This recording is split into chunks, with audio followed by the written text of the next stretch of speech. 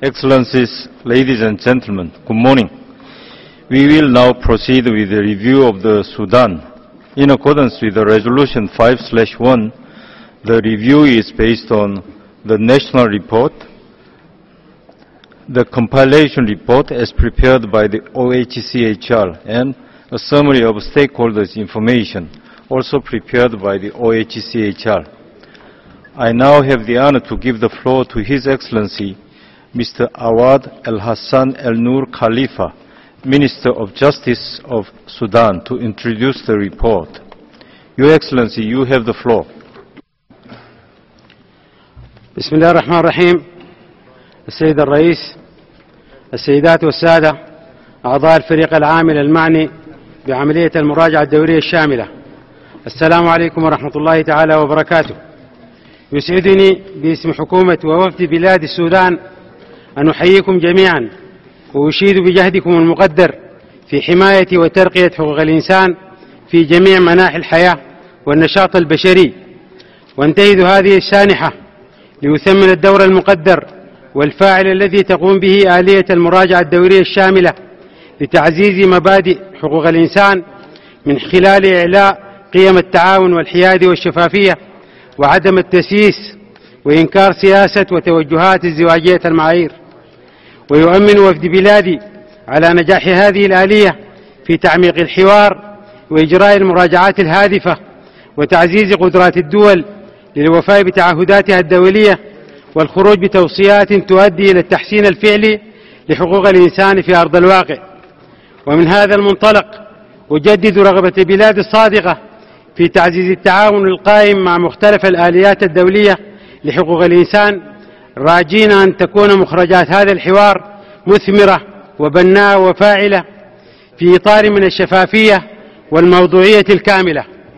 السيد الرئيس والسادة الأعضاء تؤكد بلادي على إيمانها العميق وقناعتها الراسخة بمبادئ حقوق الإنسان وصون كرامته كما عبرت عنها المواثيق والمعاهدات الدولية وتم تضمينها في وثيقة حقوق الإنسان بالدستور السودان 2005 وتعمل جاهدة لتعزيزها وحمايتها وتضع ذلك في مقدمة أولوياتها وأنشأت المؤسسات الوطنية الدستورية والقانونية ووضعت البرامج والسياسات الكفيلة لضمان إعمال هذه الحقوق على أرض الواقع رغم رغم العقبات والتحديات الجسام التي تواجهها الدولة والتي من بينها التدابير القسرية الانفرادية UCM المطبقة على البلاد منذ العام 1997 والنزاعات المسلحة المستمرة منذ العام 1955 وتبذل الدولة جهودا حثيثة ومتواصلة للنهوض بهذه الحقوق وترحب في هذا الجانب بأي مساعدات أو مقترحات بناءة السيد الرئيس والسادة الأعضاء يأتي تقديم هذا التقرير الثاني وقد تغيرت كثير من الحقائق الجغرافية والديمغرافية والاقتصادية للبلاد. نتيجة انفصال الجنوب وقيام دولة جنوب السودان في عام 2011 الأمر الذي حتم إجراء تعديلات دستورية محدودة لتوائم هذه المتغيرات. وقد أعد هذا التقرير تحت إشراف لجنة عليا برئاسة نائب رئيس الجمهورية للإشراف على إعداده لإعطاء العملية البعد السياسي والقانوني.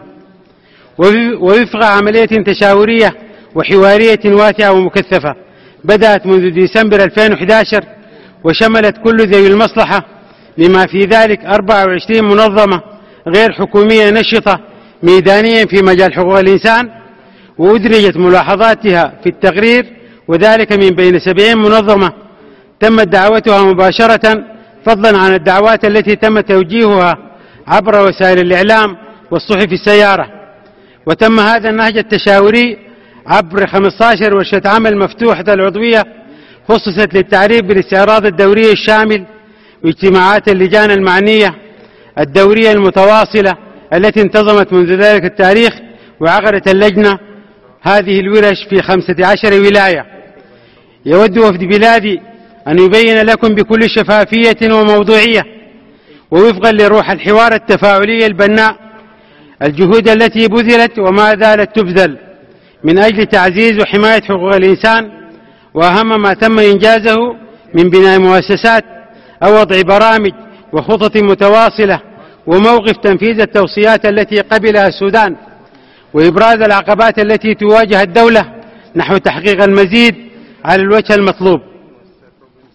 وتعلمون أن بلادي قدمت تقريرها الطوعي لنصف المدة وتلقى السودان 189 توصية منها 29 توصية تتعلق بأوضاع في جنوب السودان قبل الانفصال.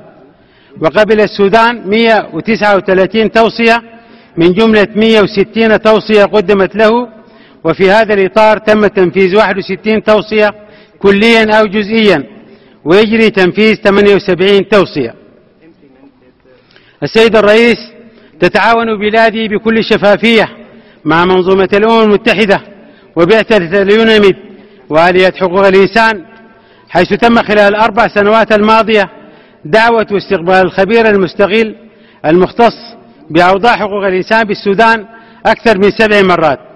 وكذلك عددا من حاملي الولايات الخاصة من المقررين المواضيعيين وممثلي الأمين العام والمبعوثين الخاصين كما ظل يتعاون في في إنفاذ التزاماته وتوصيات الآليات التعاقدية عند نظرها في تقارير السودان الدولية وفي إطار مساهمة السودان في تحقيق السلام والأمن الدولي والإقليمي واحترام تعهداته قام السودان باستكمال تنفيذ بنود اتفاقية السلام الشاملة واحترام نتائج الاستفتاء الذي أدى لقيام دولة جنوب السودان في 2011 حيث فقد السودان ثلث مساحة أرضه وربع ثروته البشرية والكثير من الموارد الطبيعية التي كان يتمتع بها. لقد ظلت القناعة الراسخة لحكومة السودان أن حقوق الإنسان لا تتأتى إلا في جو من الأمن والطمأنينة والسلم والديمقراطية. ولذلك ظل إحلال السلام عبر التفاوض والحوار في كل أرجاء الوطن على رأس الأولويات الملحة.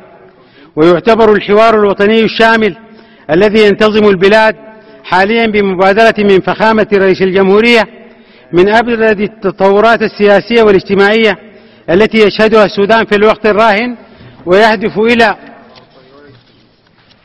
واحد التأسيس الدستوري والسياسي والمجتمعي في إطار توافقي بين السودانيين. التعاون والتناصر بين جميع السودانيين لتجاوز كافة أزمات السودان. ثالثا التوافق على دستور وتشريعات قانونية تكفل الحرية والحقوق والعدالة الاجتماعية والاتفاق على نظم مستقلة لحماية تلك الحقوق. رابعا التوافق على التشريعات والإجراءات الضرورية لقيام انتخابات عادلة ونزيهة تحت إشراف مفوضية مستقلة سياسيا ماليا وإداريا. وقد انطلق الحوار الوطني الشامل في السودان بناء على مبادرة السيد رئيس الجمهورية في العاشر من أكتوبر 2015 بعد عملية تشاورية واسعة عقبت اللقاء الجامع الذي دعيت إليه كل الفعاليات السياسية في البلاد وشارك فيه 83 حزبا. بما في ذلك الحركات المتمردة حاملة السلاح والتي استجاب أغلبها وشارك في الحوار داخل الخرطوم بعد توفير الضمانات المطلوبة. وجرت فعاليات مؤتمر الحوار الوطني حول محاور أساسية هي السلام والوحدة الاقتصاد الهوية العلاقات الخارجية قضايا الحكم وحقوق الإنسان. وتوافق الحوار الذي أوشك على بلوغ غاياته على إعلان المخرجات في وقت قريب مع الحوار المجتمعي الذي قصد منه إتاحة الفرصة لكافة فعاليات المجتمع المدني للمشاركة في التباحث حول القضايا الوطنية الكبرى دون اشتراط الانتماء إلى حزب أو تنظيم سياسي. السيد الرئيس والسادة الأعضاء مارس شعب السودان عملية إرسال مبادئ الديمقراطية من خلال انتخابات أبريل 2015 في انتخابات حرة ونزيهة وتداول سلمي للسلطة بعد تعديل قانون الانتخابات 2014 شارك فيه 259 مراقبا دوليا وأكثر من 23 ألف مراقبا وطنيا وبمشاركة أكثر من 40 حزبا سياسيا يمثلون كافة الأطياف. وقد فاز بمقاعد البرلمان 19 حزبا شارك أغلبها في تكوين الحكومة الراهنة. وقد استكملت الانتخابات المسار الديمقراطي للبلاد انفاذا للدستور واستجابة لإرادة الشعب الحرة في الاختيار. زادت نسبة تمثيل المرأة في البرلمان من 25% إلى 30% وجاءت مشاركة المرأة في البرلمان الراهن بنسبة 35.5% من جملة المقاعد تتويجا لخطة وسياسات طويلة المدى للتمييز الإيجابي وتقوية دور المرأة وتمكينها في الحياة العامة وفاء لتعهدات السودان الدولية في مجال حقوق المرأة وتلتزم الدولة بمبادئ المساواة بين الجنسين دون تمييز في الحقوق والواجبات على أساس المساواة والعدالة وفق الدستور الوطني وفاء لحقوقها السياسية والمدنية والاقتصادية والاجتماعية. إن مسيرة السودان إن مسيرة السلام في السودان لا تكتمل إلا بالتوصل إلى تسوية دائمة للأزمة في دارفور. وبذات الإرادة التي أدت إلى التوافق حول وثيقة الدوحة للسلام في دارفور تتواصل الجهود لبناء سلام دائم في ولايات دارفور الخمس بالتعاون مع كافة الشركاء في الأمم المتحدة والاتحاد الأفريقي. كما تستمر الجهود لإنفاذ وثيقة الدوحة رغم عدم وفاء غالبية المانحين بتعهداتهم. وقد شهدت فترة هذا التقرير انضمام العديد من مجموعات التمرد الحامل للسلاح لركب السلام خاصة بعد انطلاق الحوار الوطني الشامل نهاية العام الماضي. وفي إطار دعم التعافي ومعالجة آثار النزاع تم إنشاء صندوق إعمار, تنمية إعمار وتنمية دارفور بعد انعقاد المنتدى الدولي حول التنمية بدارفور في أكتوبر 2012 الذي يهدف إلى تمويل مشروعات العودة وإعادة التوطين وتحقيق الأهداف الإنمائية ويشرف على إنفاذ مشروعات التنمية وتلبية الحاجات الخاصة بالنساء والأطفال واليتامى وجميع الفئات المتأثرة بظروف النزاع.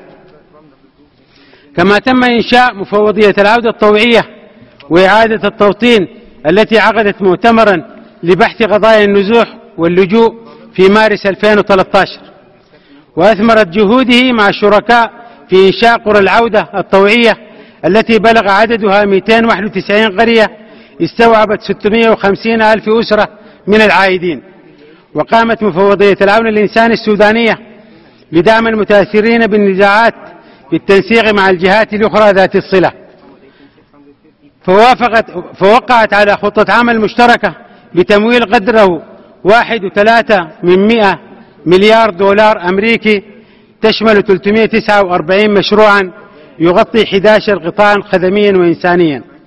كما أبرمت المفوضية اتفاقيات تعاون مع اللجنة الدولية للصليب الأحمر ومنظمة الهجرة الدولية لتنفيذ مشروعات أنشطة إنسانية في ولاية دارفور ومناطق أخرى متأثرة بالنزاعات بلغت موازناتها أكثر من 13 مليون دولار أمريكية.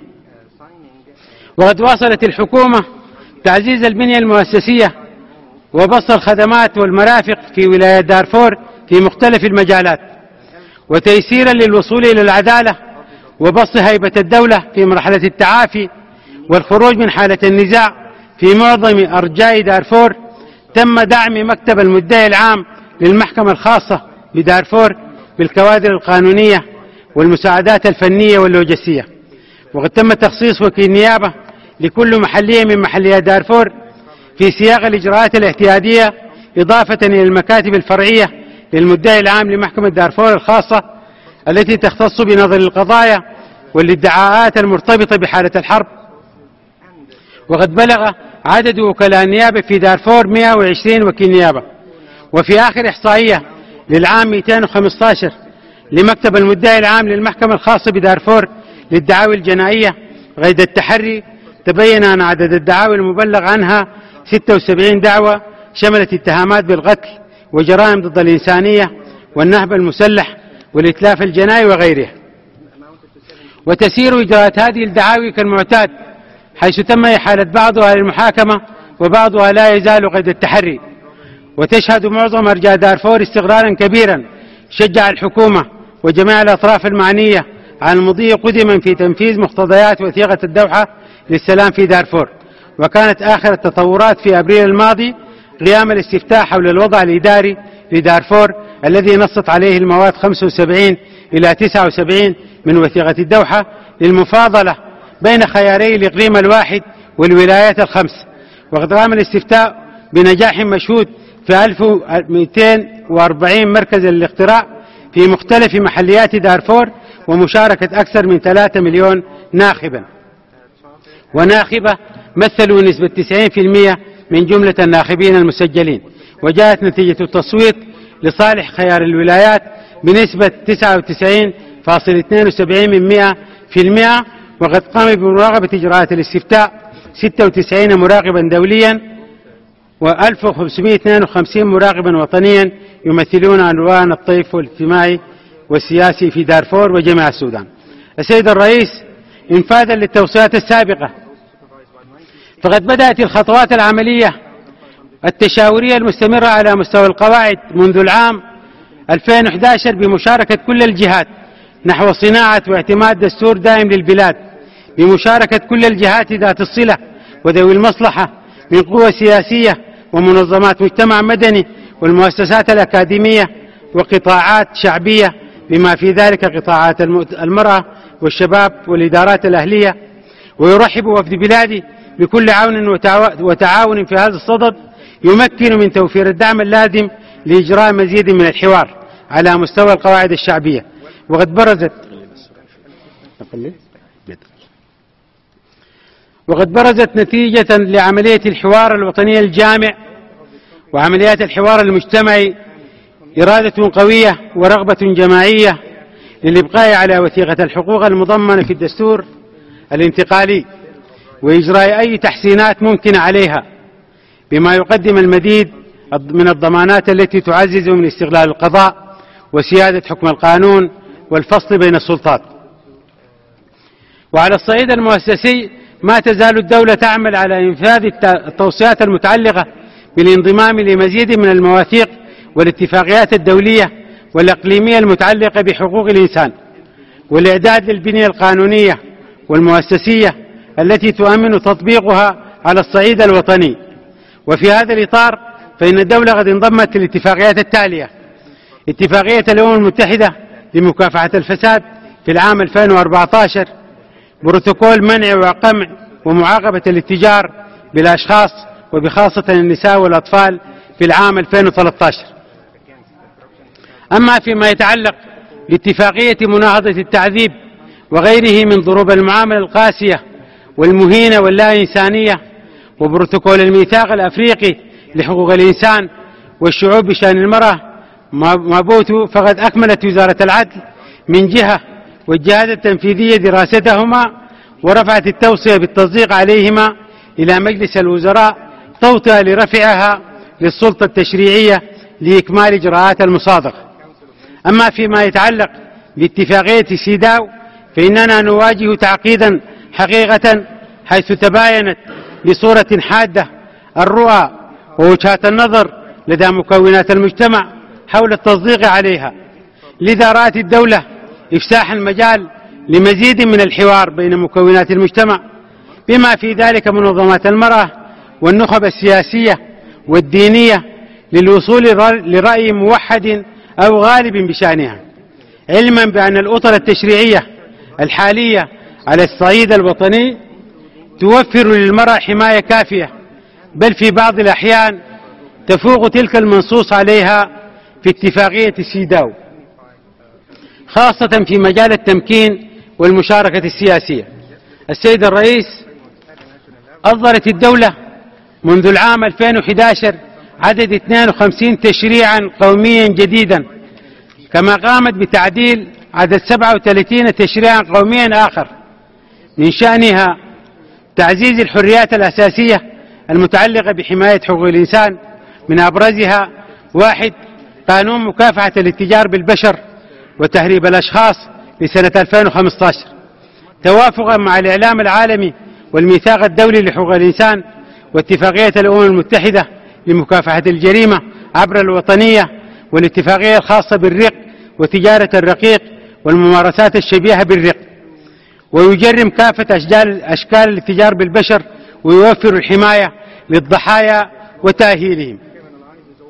اثنين قانون الحصول على المعلومات لسنة 2015 لتقنين الحق في حرية الحصول على المعلومات وتداولها.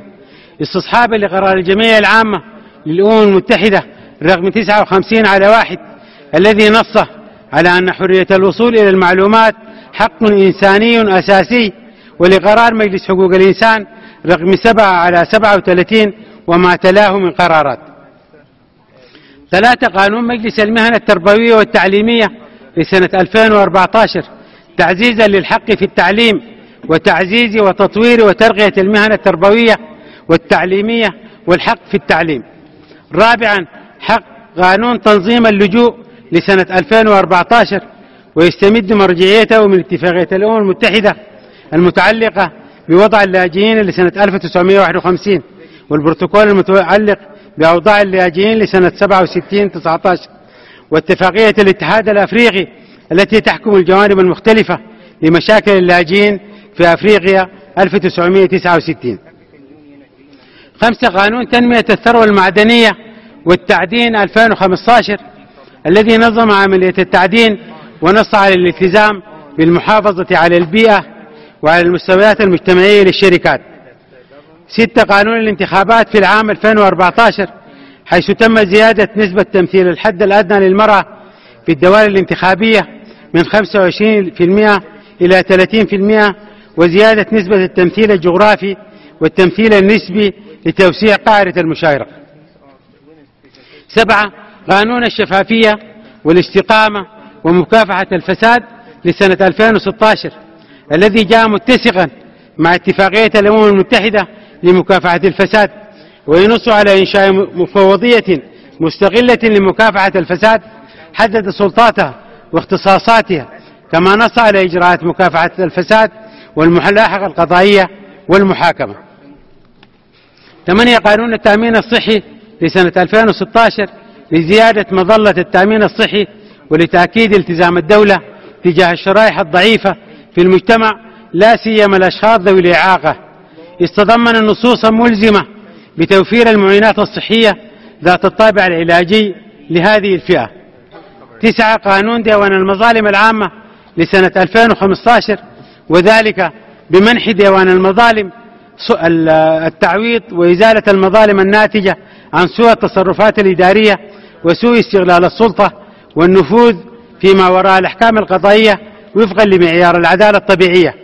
عشرة تعديل القانون الجنائي 1991 بإضافة جريمة التحرش الجنسي وفصل جريمة الاغتصاب عن جريمة الزنا منعا للالتباس واتساقا مع العدالة وإنصافا للضحايا وإضافة المادة 88 ألف لتجريم إساءة استغلال الوظيفة أو السلطة من قبل أي موظف عمومي. والمادة 88 ب تعريف الموظف العمومي العام وكذلك إلغاء تجريم الردة الفكرية. السيد الرئيس والسادة الأعضاء في نوفمبر 2015 أصدر وزير العدل قرارات بتشكيل أربعة لجان من شخصيات قانونية مرموقة تشمل رؤساء قضاء سابقين وأساتذة جامعات ومحامين معروفين ومدافعين عن حقوق الإنسان لتعديل قانون الصحافة والمطبوعات لسنة 2009 وقانون الأمن الوطني لسنة 2010 القانون الجنائي وقانون الإجراءات الجنائية 1991 قانون الإثبات 1993 قانون الإجراءات المدنية 1983 وقانون الضبط الاجتماعي بولاية الخرطوم لتتواءم مع المعايير الدولية. وذلك من بين 63 قانونا مستهدفة للتعديل في إطار برنامج إصلاح الدولة. القرار الصادر بمجلس الوزراء رقم 140 2015 وقد قطعت اللجان شوطا كبيرا في عملها السيد الرئيس والسادة الأعضاء وعلى صعيد إنشاء وتأهيل المؤسسات القومية فقد تم التالي واحد تعيين أعضاء المفوضية القومية لحقوق الإنسان. في يناير 2015 بموجب المادة 142 من الدستور وتختص بمراقبة تطبيق الحقوق والحريات الواردة في وثيقة الحقوق بالدستور وتتكون من 15 عضوا مشهودا لهم بالاستقلالية والكفاءة وعدم الانتماء الحزبي والتجرد وقد تم إجازة هيكلها التنفيذي وميزانيتها المستقلة وتعمل الدولة لتعديل القانون الذي أسهلت الممارسة العملية بعد القصور بعض القصور فيه وملأ الفراغ الذي خلفه استقالة رئيسها وثلاثة أعضاء لانتخابهم أعضاء للسلطة التشريعية اثنين تم إنشاء معهد العلوم القضائية والقانونية بموجب المرسوم الجمهوري رقم 489 لسنة 2014 المعدل المعدل بموجب المرسوم الدستوري 35 2015 ويهدف المعهد إلى إعداد وتأهيل وتدريب القضاة وأعضاء النيابة العامة والمستشارين القانونيين بوزارة العدل والمحامين والأجهزة العدلية الأخرى من شرطة وأمن وتشجيع البحث العلمي ونشر ثقافة قانون حقوق الإنسان وتطوير العمل القضائي والقانوني. ثلاثة ديوان المظالم العامة الأمبودسمان حيث تم تعديل القانون بمنح هذه المؤسسة دورا في حماية وتعزيز حقوق الإنسان خاصة في جبر الضرر وإزالة المظالم الناتجة من سوء التصرفات الإدارية وتعويض الضحايا من وراء الأحكام القضائية.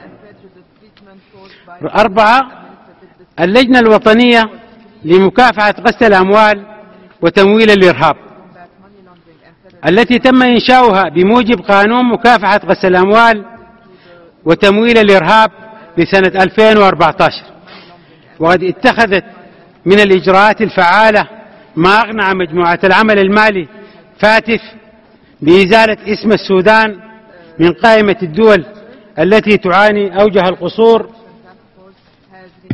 في مجال مكافحة غسل الأموال وتمويل الإرهاب.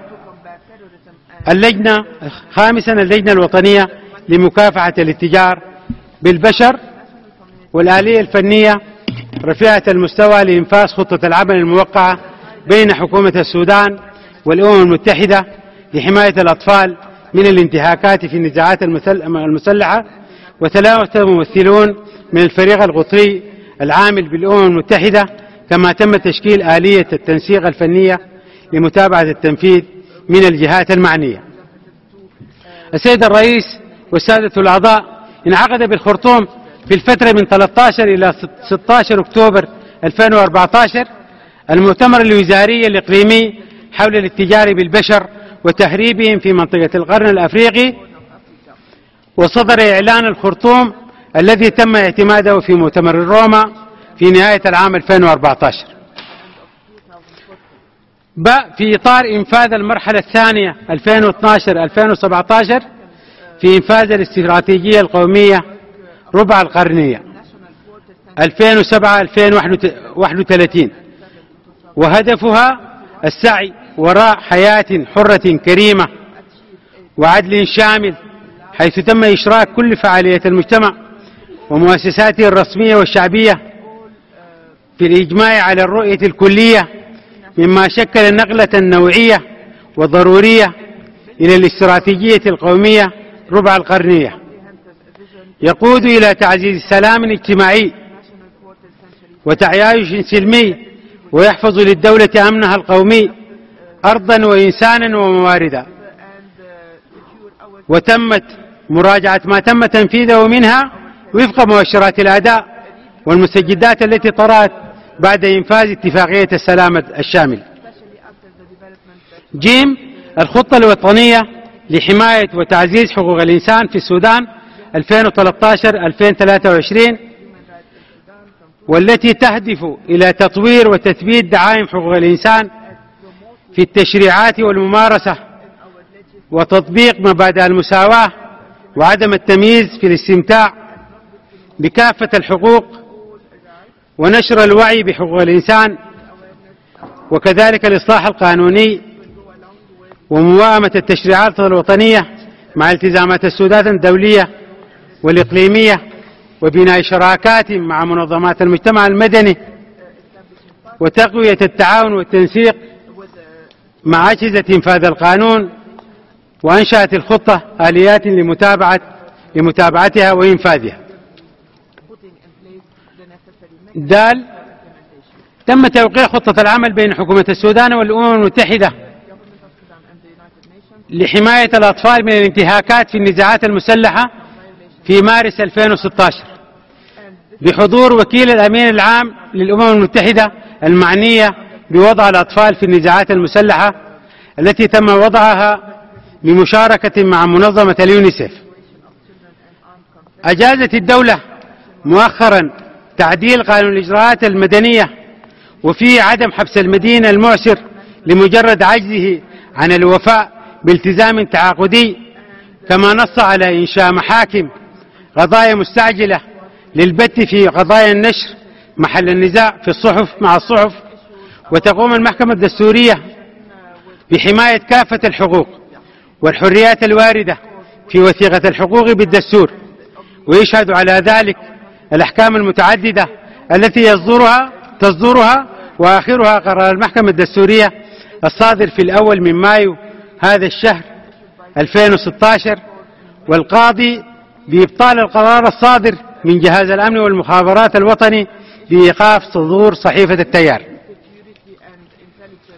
السيد الرئيس والسادة الأعضاء يواجه السودان تحديات تعرقل ما يقوم به من أعمال في مجال حقوق الإنسان وذلك رغم الجهود الهائلة التي بذلت لتجاوزها. وعلى رأس هذه التحديات التدابير القسرية الانفرادية المفروضة على السودان منذ العام 1997 والتي بلغت جملة الخسائر المترتبة على فرضها وفقا للتقارير الوطنية 1500 مليار دولار والمتعارضة مع نصوص وروح صكوك حقوق الإنسان والتي أثرت على حقوق المواطن السوداني في التمتع بالحق في التنمية والحق في الحياة والسلام والصحة والعيش في مستوى يلائم جميع حقوق المواطن السياسية والمدنية والاقتصادية والاجتماعية والثقافية. ورغم سعي السودان للتغلب على الآثار السالبة لهذه الحقوق لهذه العقوبات خلال السنوات الطويلة وامتصاصها ببدائل أخرى بتقديم العون المادي وخدمات الضمان الاجتماعي والصحي للطبقات الفقيرة تفاقمت الآثار السالبة لهذه العقوبات مع مرور السنوات خاصة تأثيرها المدمر على التمتع بكافة حقوق الإنسان في مجالات الصحة والمياه والتعليم والغذاء والنقل والتنمية وغيرها من الحقوق الأساسية. وقد استقبل السودان في ظل انفتاحه وتعاونه مع آليات حقوق الإنسان المختلفة السيد المقرر الخاص للإجراءات الآحادية القصرية الدكتور إدريس الجزائري الذي وقف من خلال, من خلال زياراته ومقابلاته على حجم الآثار المدمرة لهذه الإجراءات ويتطلب الإنصاف ومبادئ حقوق الإنسان ليس فقط رصد الآثار السالبة للعقوبات بل مخاطبة وحث الدول التي تفرضها تفرضها على احترام حقوق الإنسان والكف عن هذه التصرفات وتعويض الدول الضحايا. ساهمت الديون الخارجية في مفاقمة معدلات الفقر وحرمان المواطن من التمتع في الحق في التنمية والتعليم والصحة وأدى خفض الصرف على مشاريع تنموية ذات أهمية قصوى إلى ارتفاع أعباء المعيشة خاصة على الطبقات الفقيرة والشرائح على الطبقات الفقيرة والشرائح من النساء والأطفال وكبار السن وذوي الاحتياجات الخاصة وتقليل فرص التعامل مع الأسواق العالمية المالية مما أثر سلبا على تدفق الأدوية والاحتياجات الإنسانية. وقد استوفى السودان كل الشروط الفنية المبادرة. وقد استوفى السودان كل الشروط الفنية لمبادرة إعفاء الديون المثقلة بالديون لكن غلبت الاعتبارات السياسية على القرار النهائي ولا يمكن التفكير الجاد في ترقية وحماية حقوق الإنسان دور النظر الإيجابي لإعفاء الدين الخارجي. تعد النزاعات المسلحة من أكبر التحديات التي تواجه حقوق الإنسان. ظل السودان نهبا لهذه النزاعات قبل استقلاله التي كانت ولا تزال تجد من يقدم لها التمويل والدعم ويد العون من بعض أعضاء المجتمع من بعض أعضاء المجتمع الدولي. وظلت حكومة السودان تسعى للسلام عبر التفاوض والتسوية وآخرها توقيع اتفاقية الدوحة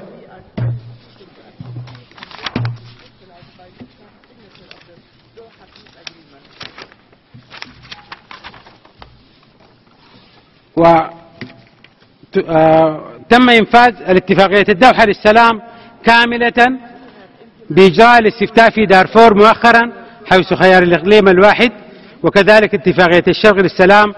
كما وقع السودان مؤخرا على خارطة الطريق مع الآلية الأفريقية رفيعة المستوى برئاسة الرئيس ثاو مبيكي وهو الأمر الذي رفضته الحركات المسلحة وقد وافقت الحكومة على إيصال الغوث الإنساني للمتضررين وفق اتفاق ثلاثي ضم الأمم المتحدة والجامعة العربية والسودان إلا أن حركات التمرد ما تزال ترفض هذا الخيار مما يعني إطالة أمد الحرب والمعاناة لمواطنين.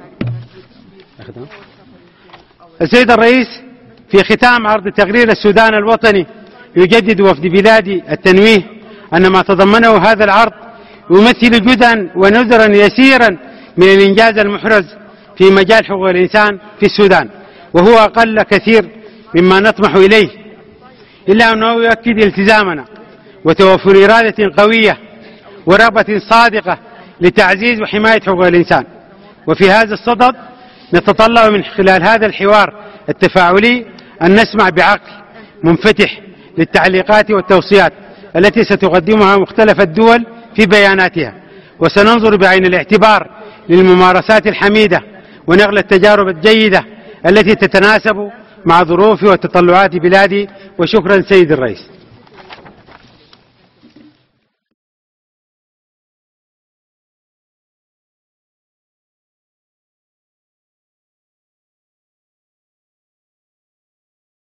والله مع الأسف أوضاع حقوق الإنسان في السودان ظلت منذ فترة آه، منذ وقوع الانقلاب في حالة مزرية ومتردية تماما إلى الحين آه، بسبب أسباب كثيرة جدا آه، يعني معروف أنه ما سمي اتفاقية السلام مع الجنوب بسبب الحقوق بالنسبة للمواطنين في الجنوب أدت إلى انفصال الجنوب. بمعنى عدم الالتزام باحترام حقوق المواطنين في الجنوب الآن في نزاعات مسلحة في إقليم كردفان وجبال النوبة ودارفور وكلها بسبب موضوع انتقاص الحريات الأساسية وحقوق الإنسان بسبب تسلط النظام بسبب سوء القوانين بسبب آه عدم استقلال القضاء. وبسبب فرض الهيمنة الأمنية على كل مرافق الحياة سواء كان الصحافة أو النقابات أو الجمعيات العامة أو حقوق المرأة أو حقوق التجمع السلمي كله ممنوع ممنوع ممنوع. يعني كل انتهاكات لكل رغم أن السودان يعني منضم لكثير من الاتفاقيات الدولية المعنية بحقوق الإنسان لكنها لا تزيد عن كونها حبر على ورق.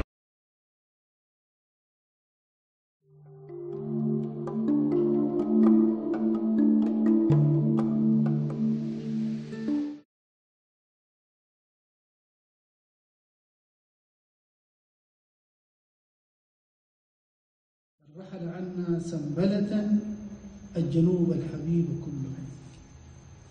وبكينا وطنا مضاعا يرحل سلسه بلا سميع أو مجيب وضحاياه بعدد الحصى والرمل والتراب. لم نقم لهم مأتما ولا نصبنا لهم سرادقا ولا أقمنا لهم درس شهيد. رحل عنا بل يرحل كل يوم زغب الحواصل في جنوب كردفان وجنوب النيل الأزرق. إذا نجوا من قذائف الأنتنوف كانت المجاعة لهم بالمرصاد. رحل عنا قبل ثلاثة أعوام أكثر من 200 شهيد في موكب تقدمته سارة عبد الباقي وهزاع عز الدين وصلاح السنهوري وما تزال أرواحهم تنادي من يرفع لواء المحاسبة والغصاص هكذا رحل الأخيار في بلادنا وما تزال العصبة ذوي البأس تجسم على صدورنا. مر أكثر من ربع قرن وما يزالون عطشا للسلطة. لم يرتووا وقد مصوا ضرعها حتى جف وما زالوا يغرسون فيها فسادا. وما فتوا يقتلون أبنائنا ويغتصبون بناتنا في الطرقات ومن فكوا يذلون طلابنا ويسومون طالباتنا سوء العذاب في المدارس والجامعات. الفقر ينهش عظام وسطاء أهل السودان وهم يموتون من التقمى الأمراض تفتك بالناس صغارهم وكبارهم وهم يجوبون الدنيا لمجرد صباع ألم بهم أو لإجراء فحوص طبية من قبل أن تداهمهم أمراض من حيث لا يحتسبون مؤسسات التعليم أصبحت فارقة كجوف أم موسى وهم يرسلون أبنائهم إلى بقاع الدنيا المختلفة دون حياء أو وازع الأخلاق. الأحوال المعيشية والأخلاق في سباق مع البؤس والتردي والانحطاط. يلهون بالدين ويعبسون به كما يعبس الأطفال بدمهم يقبلون على الدنيا بكل ما فيها من ملذات ويحسون الناس على أن يدبروا عنها نحو الآخرة غير مأسوف عليهم. يغضون البصر عن الظلم ويطبقون العدل على سائر بقاع السودان بإشعال الحروب بقدر السواء بفضلهم أصبح المواطن السوداني مشروعا للإرهاب والتطرف والتخلف.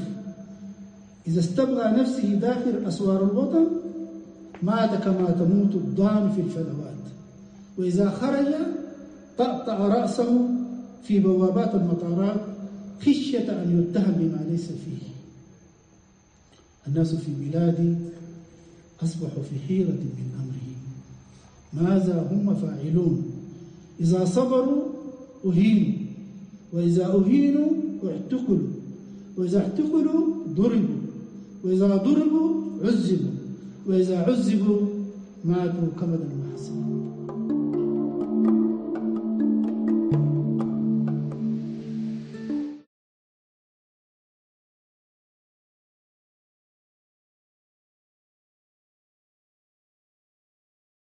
هذه عملية لا تنافس فيها ولا مفاجآت. نحن نعلم فقد أعلن لنا الحزب الحاكم أنه سيفوز ب 70% من الدوائر البرلمانية وأنه ترك 30% لحلفائه وأن آه، رئيسه المشير البشير سوف يفوز فوزا ساحقا.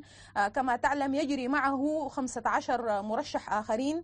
آه، كلهم يعني تسعة منهم من المنسلخين من المؤتمر الوطني. هي لعبة لا طائل فيها ولا جدوى غير أنها تخاطب فعلا القضايا الداخلية لهذا ال- الحزب الحاكم الذي انفرد بالحكم ل 26 سنة من الفشل الكامل وانفصال السودان والتردي الاقتصادي والسياسي وغيره وانتشار الحروب وكما كذلك يخاطبون بها آه، محاولة لحماية رئيسهم من ملاحقات محكمة الجر- ال- الجرائم الدولية.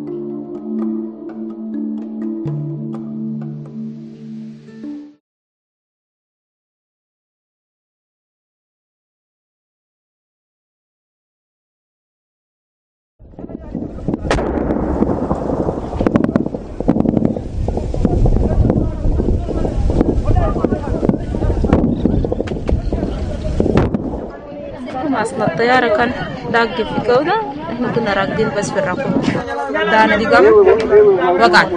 تفجرت. القنبلة لما انفكتوا ما قدرنا عشان نحن نجروا نتحصل على الخندق. لكن نسيبي كان جوا الخندق. إحنا بس عملنا سواتر قلنا ربنا عنده مبارك بح- بحفظنا كيف. لما أنا شفت أختي آخر دي هي تتعوقت يلا طوال قمت حسيت بنفسي اوق برضه بت- بت- بتخنى اوقف راسها هي كبيرة ساعة هي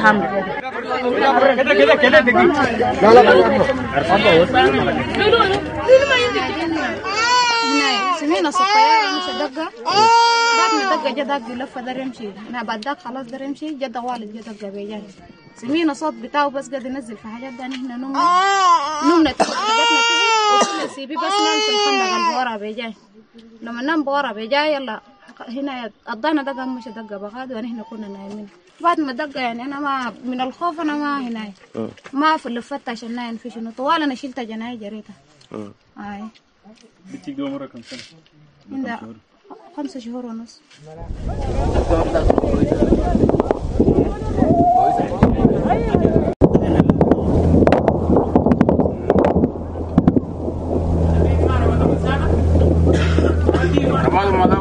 لا لا طالع فيلم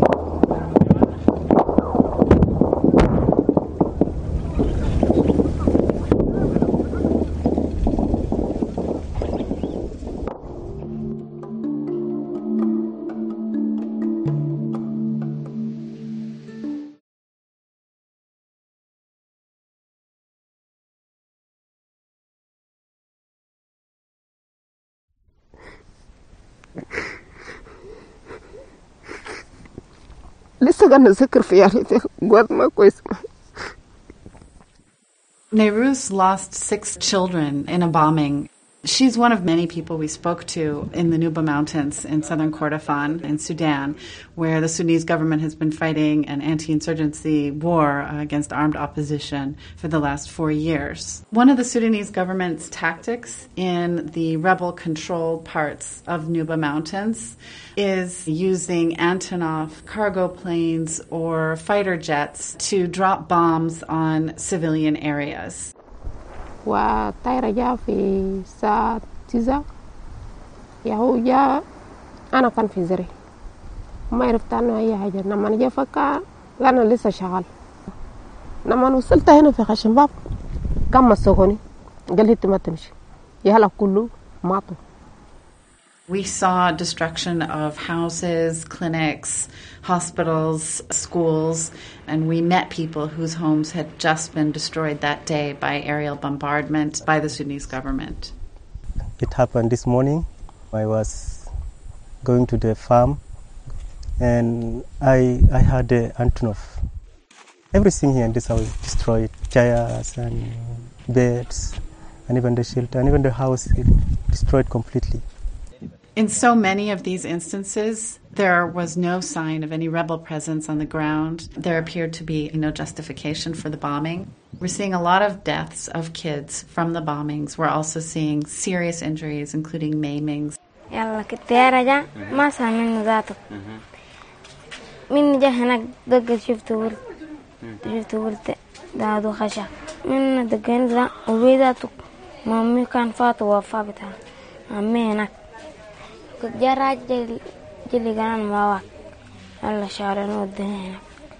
the Sudanese government is not allowing aid in. The result is that people are suffering no food, no health care, no education. And it's the children who are really bearing the brunt of this. They're not getting immunized and they're not getting proper schooling. We transfer from permanent school to that one which built from perishable materials. And we just take them there and when the aeroplane comes, comes and they run to the caves and they hide. It's been four years that the Sudanese government has gotten away with this bombing campaign that completely violates international humanitarian laws. The United Nations has threatened sanctions for abuses committed by both sides to this conflict, but they never followed through. It's time that the UN and the African Union and the member states hold those responsible for the ongoing abuses and the indiscriminate bombing to account.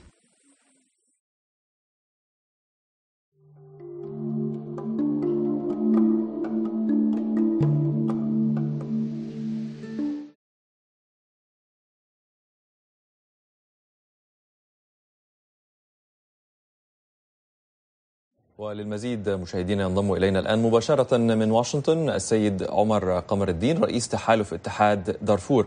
أهلا بك معنا أستاذ عمر في برنامج اليوم في البداية ما المؤشرات والأدلة التي تملكونها حيال وقوع أعمال اغتصاب جماعية بالفعل؟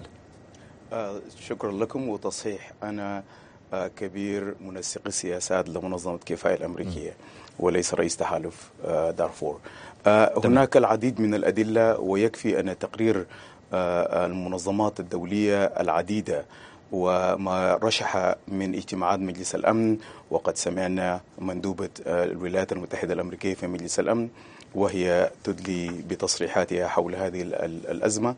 هناك العديد من المنظمات التي وثقت لهذه الجريمة البشعة وهناك العديد من الصحفيين السودانيين الشجعان والش- والشجاعات. آه، الذين كتبوا عن عن هذه ال- الجريمة. آه، فضلا عن راديو دبنجا آه، والذي آم، كان آه، له قصب السبق في آه، إيراد هذه الأخبار للعالم والمقابلات الكبيرة التي أجريت مع بعض الضحايا وأسرهم. طيب سيد عمر يعني برأيكم من يتحمل المسؤولية من جديد يعني حيال استمرار أزمة دارفور الإنسانية والأمنية لأكثر من عقد كامل الآن؟ ليس هناك من شك أن المسؤولية المباشرة تقع بصورة أساسية على نظام الخرطوم وعلى الحكومة التي على رأسها ال ال ال السيد عمر البشير وهو مطلوب في محكمة الجنايات الدولية آه، بفعل تخطيطه وأوامره التي أعطاها لجنده بالقيام بمثل هذه الأعمال الوحشية. آه، كل آه، إقليم دارفور الآن هو في حالة غليان وفي حالة اضطراب والأمن آه، تماما في حالة انفلات سواء كان ذلك عن طريق آه، عصابات الجنجويد والتي سميت آه، خطأ باسم الدعم السريع حتى يتسنى للحكومة آه، اعتبارها من القوات النظامية وإذا كان ذلك من العصابات المتفلتة آه، الموجودة في على طول الإقليم وعرضه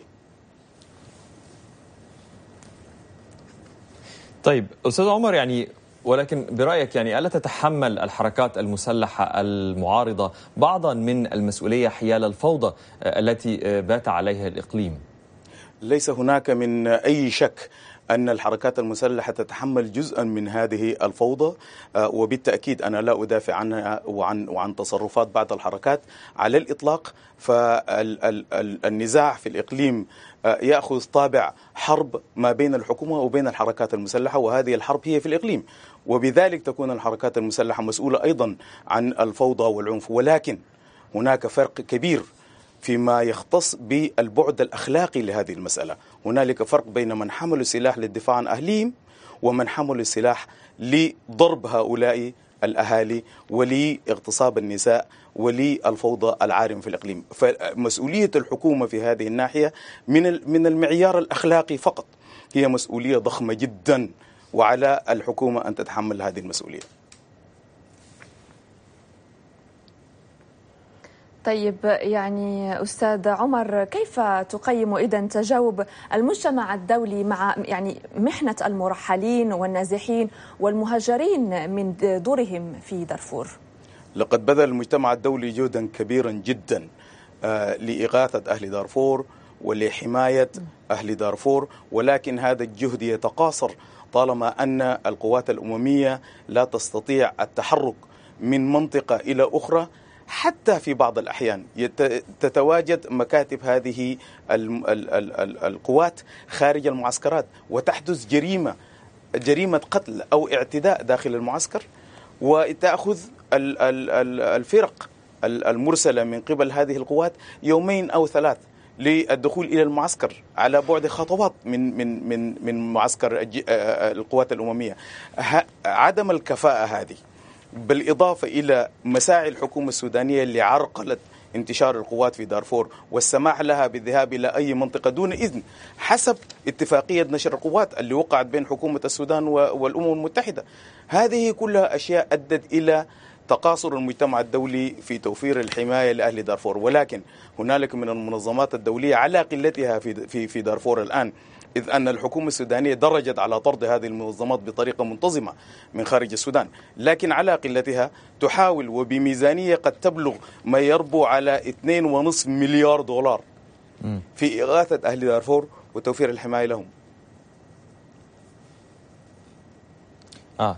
طيب لو تحدثنا أكثر عن الجانب الإنساني سيد عمر يعني ما هي أكثر أو ما هو أكثر ما يحتاجونه الآن يعني قاطنوا منطقة أو إقليم دارفور؟ يعني لو رتبنا الأولويات يعني ما هو أكثر ما يحتاجونه اليوم؟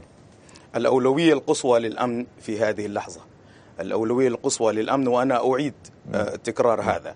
بالإضافة إلى ذلك الإغاثة ال- ال- التي كانت توفرها ال- ال- المنظمات الدولية الآن أصبحت غير موجودة. وتحاول حكومة السودان جاهدة على أن تسيطر على الإغاثة وأن تنشر المنظمات السودانية التي هي في نهاية الأمر منظمات تتبع لأجهزة الأمن ومنظمات تتبع للحزب الحاكم.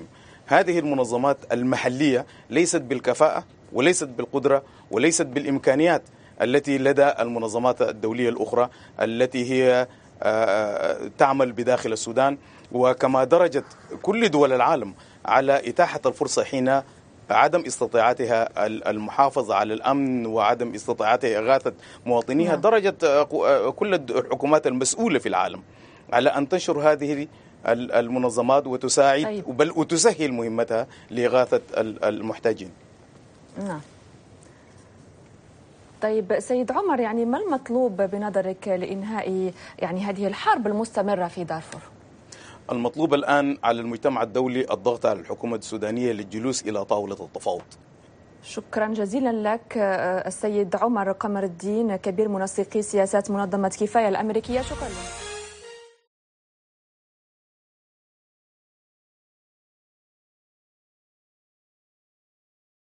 It's a war that began 12 years ago, and despite a joint UN AU presence on the ground, this 88 page report details widespread and systematic attacks by government forces on civilians. And amongst the most egregious abuses that we documented are torture, extrajudicial killings, and uh, a tremendous amount of sexual violence, including mass rapes. The report documents the destruction of entire villages as shown in these before and after satellite images, even without a rebel presence in those towns, as part of what the authors say were two major government operations in 2014 and 2015. They blamed both the Security Council and the African Union for a lack of urgency, despite peacekeepers on the ground. The African Union, in particular, uh, uh, is not vocal enough on this issue. It's not just a UN mission, it's also the mission of the AU. And, and we look to countries that are leaders in the AU, such as uh, South Africa, Uh, to be much more uh, proactive. Uh, they, they, need to put pressure on, on the, the, the government of Sudan Human Rights Watch interviewed 212 people who were either victims of or witnesses to the violence between May 2014 and July this year. Those interviewees included five defectors from forces aligned to the Sudanese government who provided information that they were given orders from among the highest echelons of the government to plunder, rape, and kill. But Human Rights Watch clarified it had to be very cautious in apportioning blame, arguing that this was the role of the International Criminal Court or a commission of inquiry. The ICC has already suspended its investigations into Darfur due to a lack of support from the Security Council. Sherman Bryce Pease, SABC News.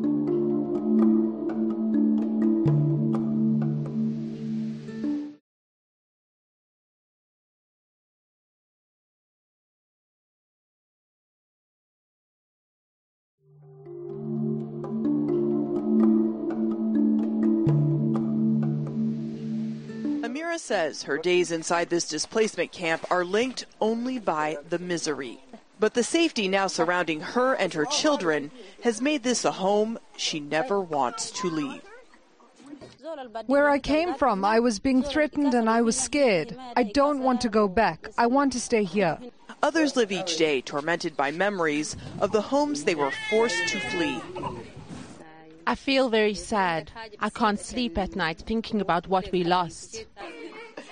Haja Abdullah and their family were among the first wave of Darfuris displaced in 2004. Fighting began when armed African rebel movements said they were tired of Arab government leaders neglecting the region. Almost 12 years later, Haja and Abdullah's desire to return is pulling them to their long abandoned farm like a magnet. It would be very bad if I don't get the chance to go back to my grandfather's land, but I'm sure sooner or later I'll go back. My father and my mother were buried there. Whether the displaced want to stay in the camps or go back home, they're confronted with obstacles. The areas damaged by war need to be rebuilt. In the camps, there's not enough space or services to accommodate a growing population. Now in its 13th year, the conflict in Darfur has displaced 2.6 million people, according to the UN. In the last year, several humanitarian organizations have left and programs have ended due to a continued decrease in funding. At the same time, the Sudanese government says it can't meet the growing needs of the displaced and must have more assistance from the international community. There's no indication that the violence is subsiding. The UN says since January, more than 100,000 people have been forced from their homes. Because the government is blocking humanitarian access to conflict zones, that total may be higher. People have no access to any of the basic social services. We need access. Now far from the battlefront, Amir and Abdullah's families have the luxury of being able to think about the future. They may have differing ideas about where home will be but both want to reclaim the way of life they used to lead before war in Darfur reached the doors of millions. Natasha Ghanem, Al Jazeera, North Darfur State, Sudan.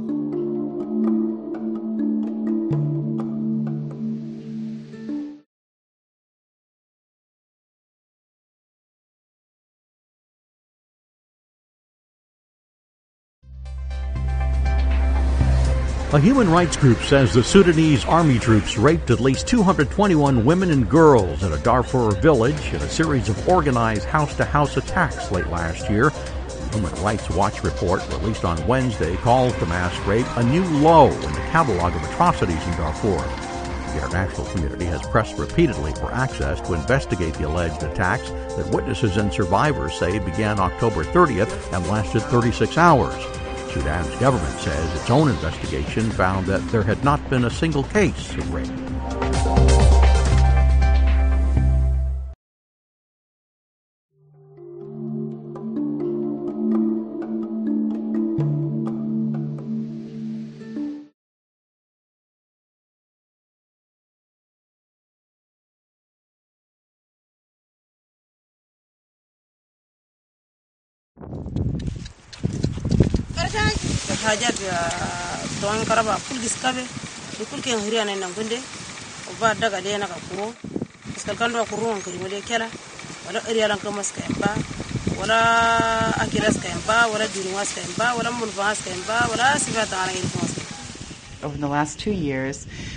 we've documented massive campaigns of attacks by the Rapid Support Forces. The Sudanese government created the Rapid Support Forces in late 2013. They've been carrying out massive attacks against civilian areas in all of Sudan's conflict zones. We have documented that they've been incredibly abusive, attacking civilian areas, livestock, property, and carried out rapes and killings. Darfur is the western region in Sudan which has been in conflict since 2003. The area that we're especially concerned about is an area called Jebel Mara in the center of Darfur. Jebel Mara is an incredibly difficult to access region.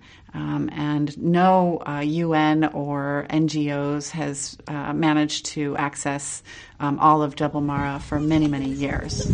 Some journalists have been able to access parts of these remote areas. The people who the journalists were able to speak to had fled from a government controlled town called Golo into other areas that are under rebel control.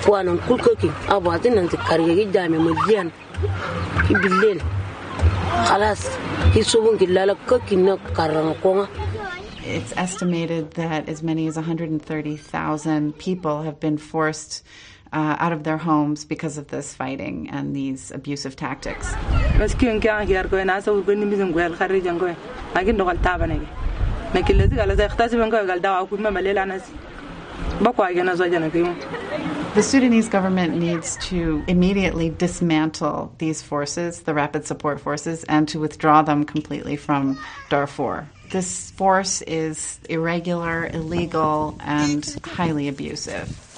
The government should also allow unfettered access to all of Darfur, including Jebel Mara, for humanitarian aid groups and for the UN AU peacekeeping mission in Darfur.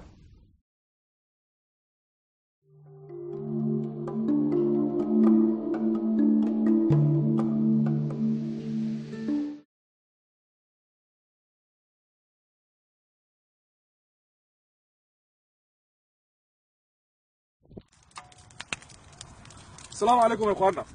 آه أنا الآن في في وادي صالح. في وادي صالح. بدار أبلغ للناس يا إخواننا. الداعش وصلتنا البلد. عمر بشير جاب الداعش للبلد.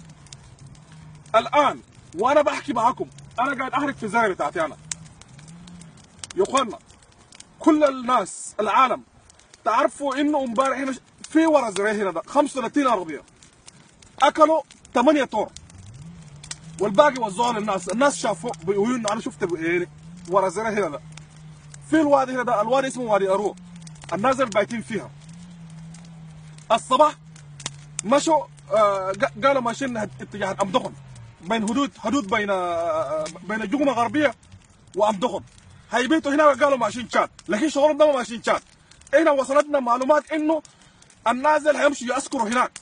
والناس اللي هم بشبه زي ناس ابن عمر. الناس ناس حمر شعرهم طويل عندهم سبحة في إيدهم عندهم اسلحه عندهم مدافع كبير. أبا كيف ورجيتو كيف ورنا سو يا حي المهم مثلا كواسين وكو كل برو. يخون داش كي برو فاكو كين كوا كان برو التورا باين لون نباين ام وسير باكو سي كو رسالة ان أتو. أتو ري أنا ري ويل. كي غسا كافر اي برو كومه داش كي برو بولو. أصلا بلو يخون إن بلا إن كوالت باكو إنه كي غسا أدو اي برو كومه ya Umar Bashir res ken kwa kinzela kin ibn Umar ken kwa na kwadin kama kin kwa Libya ke kwadin kama المهم يعني داعش هو في دارفور خلاص فدارفور ده خلاص الداعش وصل وكان نازل كان مشوا جبل مره كان طلع في جبل مره بضر البلد خلاص شكرا جزاكم الله الف خير شكرا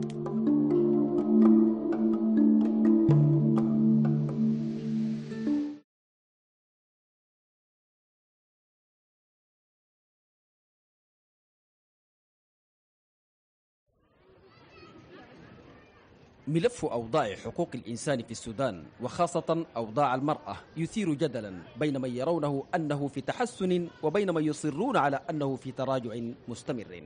وفي خضم هذا الجدل المحتدم تحاول منظمات وشخصيات مدافعة عن أوضاع حقوق المرأة جاهدة التصدي لما تراها انتهاكات تتباين أشكالها.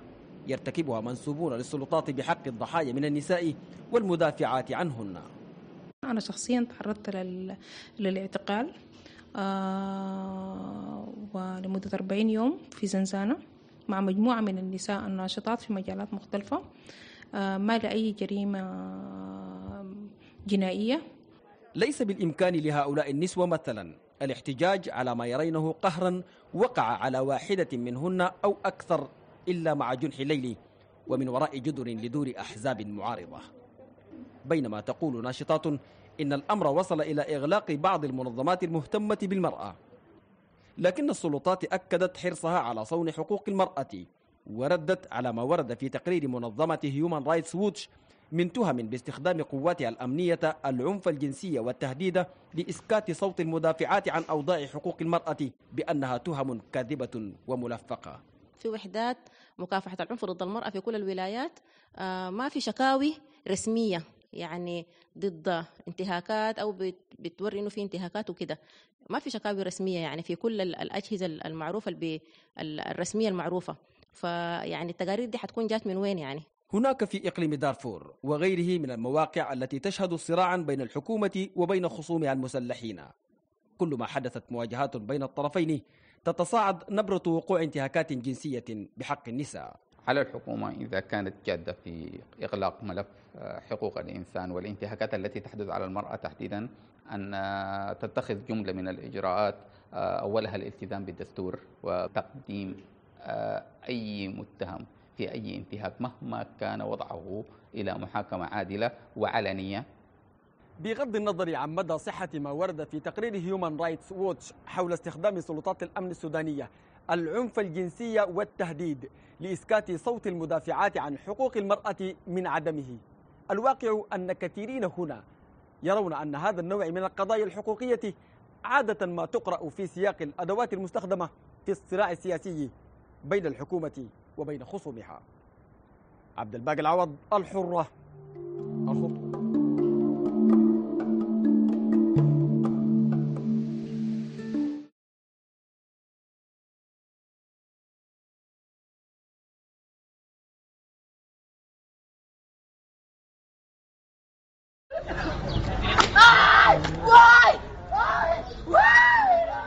تزال عقوبة الجلد تطبق في السودان وبشكل يومي وغالبا ضد النساء كعقوبة على عدم الاحتشام أو الجرائم الأخلاقية.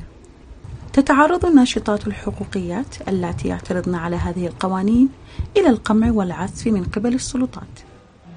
فبنجي نلقى انه هو القوانين دي اتعملت على أساس إنها تتحكم في النساء في إنك أنت تلبسي شنو تشتغلي شنو يعني في كامل تفاصيل الحياة عامر عثمان حامد ناشطة في مجال حقوق الإنسان والمرأة.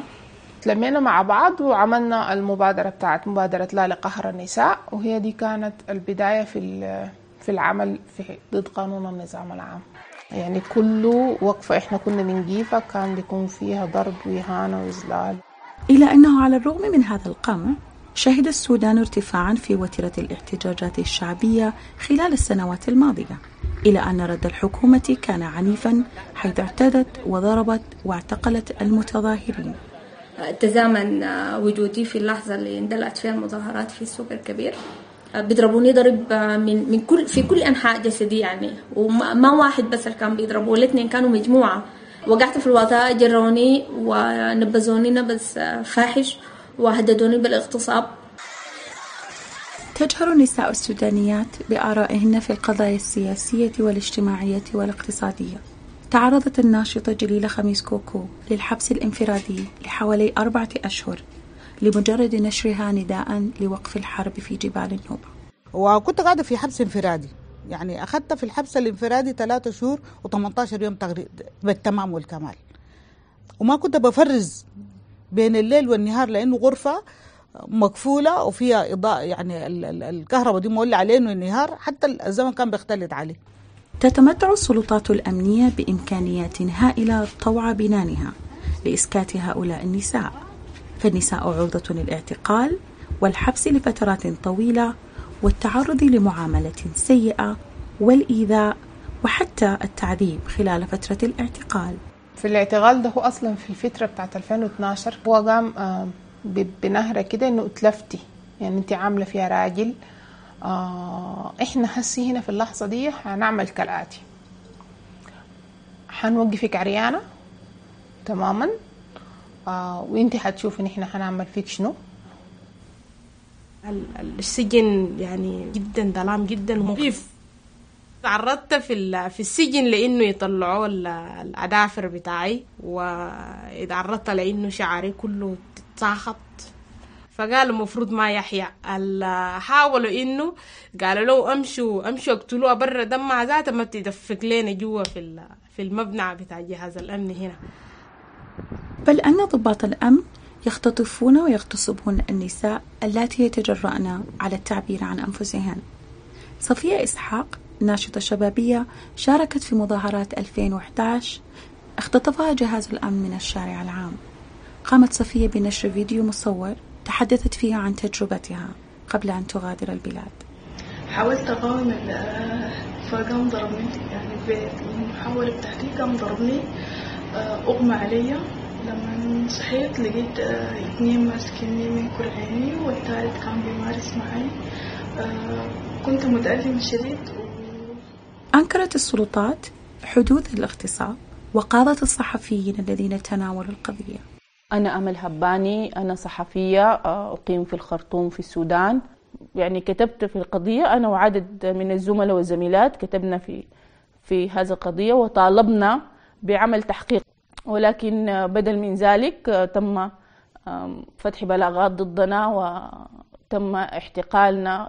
تعرضت للفصل من العمل. أنا الآن عمودي أشياء صغيرة وموقوف من النشر في الصحف السودانية ما بكتب في الصحف الورقية اليومية. إن النساء السودانيات المدافعات عن حقوق الإنسان يعملن في بيئة عدوانية جدا. لذا يتعين على الحكومة السودانية أن تتوقف عن استخدام العنف والترهيب لإسكاتهن.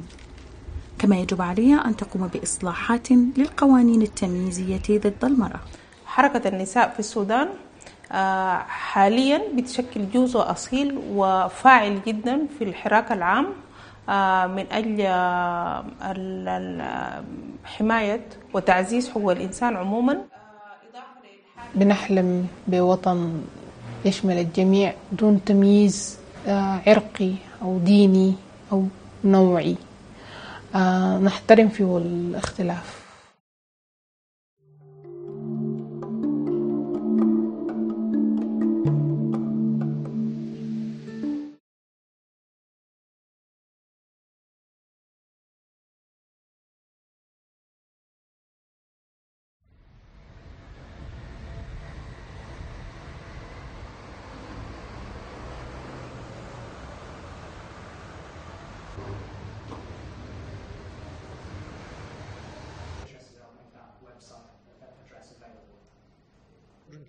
Suffer. Reintegration is difficult, with children haunted cycle. It's very quick, and obviously you've got to get away very soon.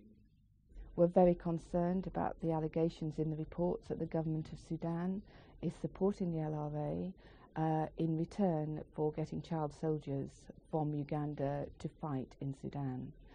We're calling upon the government of Sudan to immediately renounce um, the denounce the activities of the LRA and disassociate itself from them. If it fails to do that, then that will be extremely incriminating to the international community.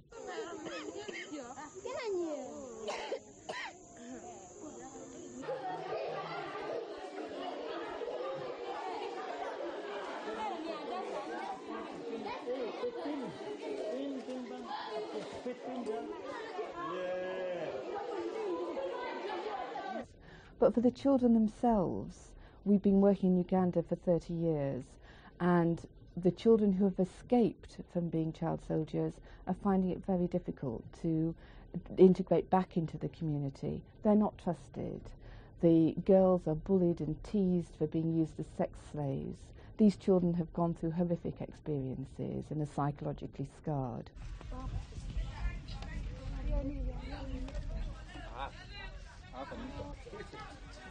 Dolo tiene ko. Dolo tiene study. Two and a half.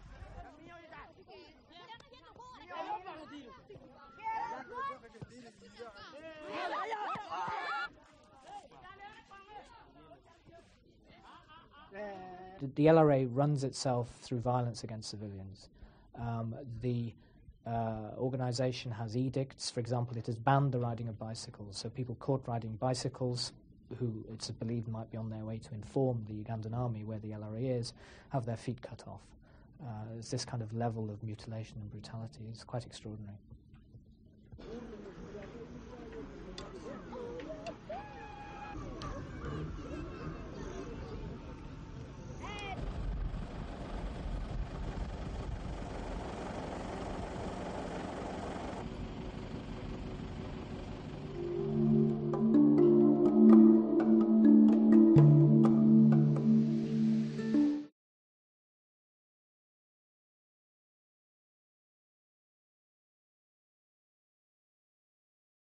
Good girls don't protest. الاحتجاج لا يليق بالفتيات الجيدات. هذا هو اسم جمعية انضمت إليها ناشطات سودانيات سبق وأن تعرضن لأشكال عدة من العنف الجسدي والجنسي على يد السلطات السودانية من أجل كسر حاجز الصمت الذي فرض عليهن جراء تهديد بالقتل أو التنكيل. ونقلت عضوة الجمعية حقائق وصفتها منظمة هيومن رايتس ووتش في تقرير بالفظيعة. هو قام آه، بنهرة كده إنه اتلفتي. يعني انت عاملة فيها راجل. آه إحنا هسي هنا في اللحظة دي هنعمل كالآتي. حنوقفك عريانة تماما. آه وانت حتشوفي ان إحنا هنعمل فيك شنو. أمل هباني صحفية مقيمة في العاصمة الخرطوم فوجئت بأن الحديث حول هذه الانتهاكات حول حياتها إلى جحيم وحرمها حتى من حق مواصلة عملها. يعني كتبت في القضية أنا وعدد من الزملاء والزميلات كتبنا في في هذه القضية وطالبنا بعمل تحقيق. ولكن بدل من ذلك تم فتح بلاغات ضدنا وتم احتقالنا. تعرضت للفصل من العمل. أنا الآن عمودي أشياء صغيرة وموقوف من النشر في الصحف السودانية ما بكتب في الصحف الورقية اليومية. وأفاد التقرير أن العديد من النساء اللواتي آثرن الدفاع عن حقوق الإنسان أو حتى مزاولة الصحافة المعارضة لم يجدن خيارا سوى التخلي عن وظائفهن أو مغادرة البلاد نتيجة الإجراءات التعسفية التي لاقينها من طرف السلطات. ممارسات طالبت منظمة هيومن رايتس ووتش بملاحقة المسؤولين عنها.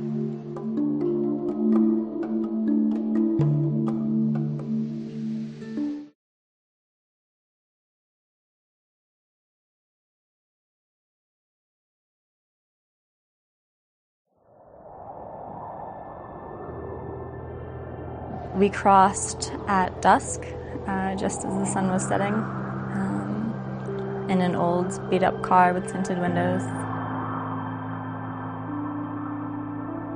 I can't even really remember breathing while we were driving across the border.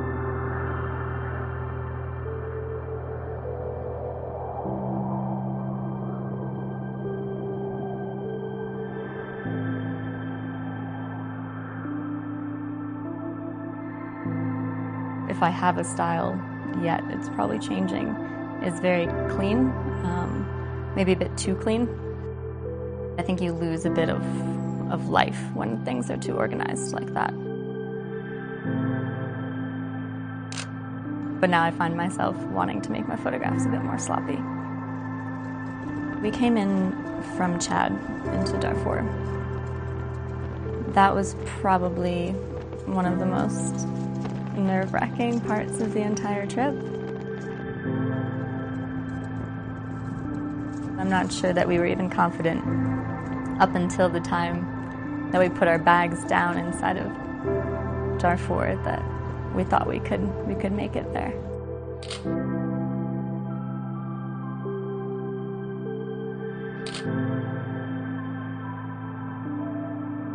We were literally going up and down the sides of these mountains every day. And there were sharp, jagged rocks. You'd be climbing and it'd be hot and dusty. And you'd come over a ridge, and all of a sudden there would just be fields of lemon trees or fields of orange trees and crystal clear brooks. And then that's when you could smell the greenery.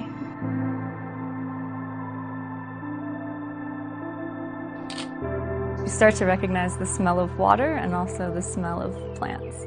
Because when you're in the desert without either of those things, you don't think about it until until you haven't had a shower for a week and then you realize that you can smell a drop of water landing on the sand.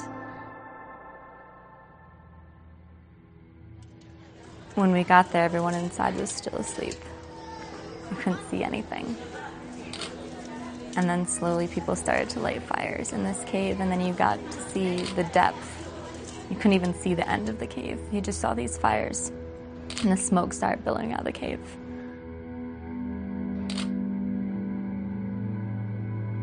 That really told the entire story because why were two or three hundred people living in this cave, surviving on potatoes and some tea while they're living in this cave because they've been chased from their homes because their homes have been attacked or burnt or bombed.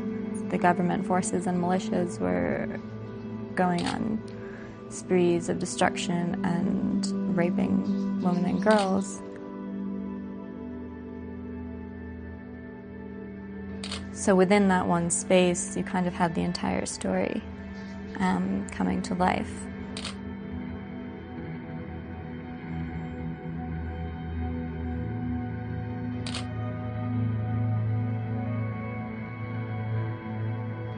The photographs are a small part of it. It's, it's a way to communicate um, what I saw. It's a way to communicate what's going on, and it's also the people there giving them a chance to, to communicate to a certain extent. You know, it's not about me, it's about the people in those pictures.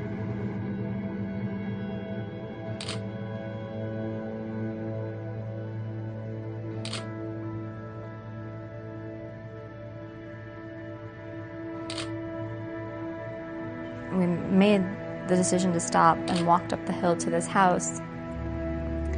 And this boy was just sitting there on a stool. You kind of freeze for a moment um, and try to understand what's in front of you. You just walk into this small house on the side of the mountain, and for some, for some reason, this family's home had been bombed.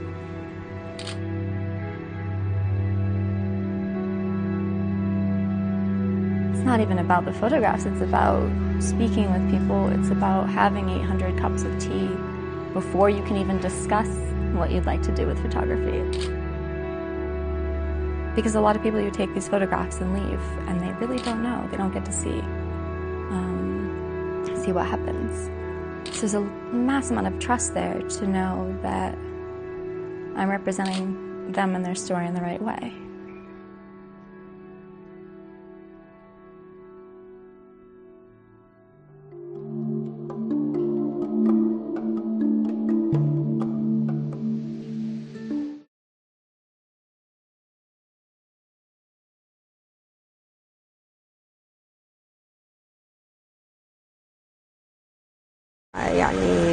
نستمر في الإضراب لا صحافة بدون حرية مهما فعل. لا بد أن يرفع كل منا صوته لكن بطريقة حضارية الطريقة التي استخدمناها نحن بطريقة سلمية آه، دون أن تخ- آه، أن تخدش القانون.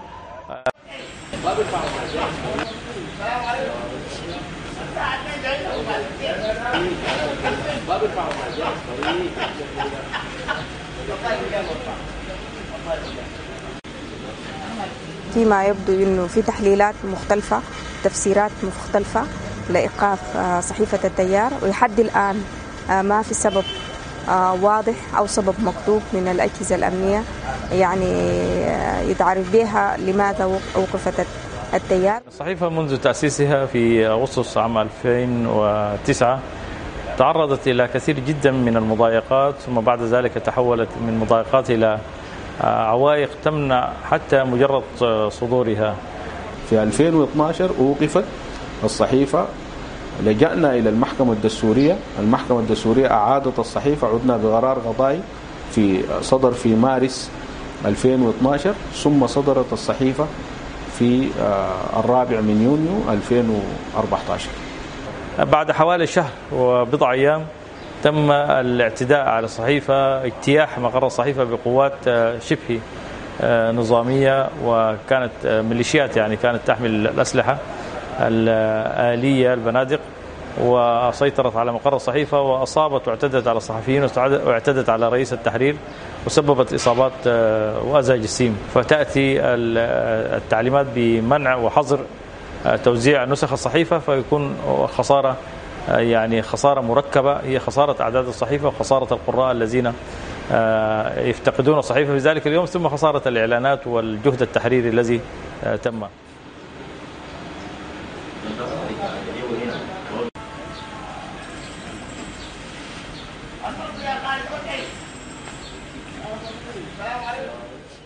بدأت بوقفة تضامنية يعني نظمتها صحيفة التيار وتضامن مع يعني الصحفيين والصحفيات والإعلاميين وقادة العمل السياسي والمجتمع المدني. عقبتها حملة المليون توقيع من أجل حرية الصحافة والتعبير. والأسبوع الثالث كان بدا أمس بداية الإضراب عن الطعام. المشاركة واسعة المناصرة واسعة حملة التضامن واسعة من كافة القطاعات التي تحترم حرية الكلمة وتأمل أن تكون الكلمة الحرة في السودان. والله مستقبل الصحافة بالقيود التي تفرضها السلطة على الصحافة وأولها القيد على حريتها لا لا أرى أن مستقبل الصحافة سيكون مزدهرا بأي حال من الأحوال. ستعاني ستظل تعاني وستظل ستظل تنزف. لدينا في الطريق الآن بعض الإجراءات الأخرى هي تصب في ذات الإطار مزيد من التصعيد مزيد من الحملات الإعلامية مزيد من التأثير على المجتمع السوداني الداخلي وحتى على المجتمع الدولي الذي أعتقد أنه يناصر هذه القضية تماما لأنها قضية حرية الرأي وهي قضية أممية وليست قضية محلية.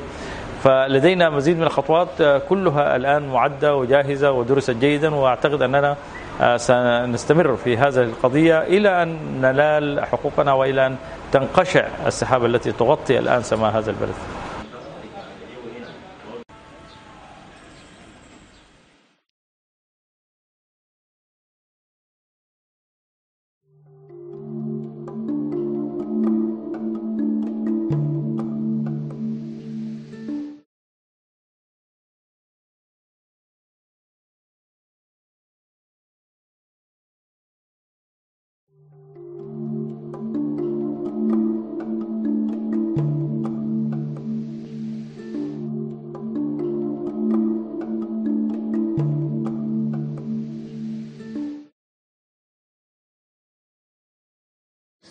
بسم الله الرحمن الرحيم. الحمد لله والصلاة والسلام على رسول الله. أه بتكلم معاكم الأحباب والحبيبات الإعلاميين والإعلاميات السياسيين والسياسيات وكل الوطنيين الشرفاء.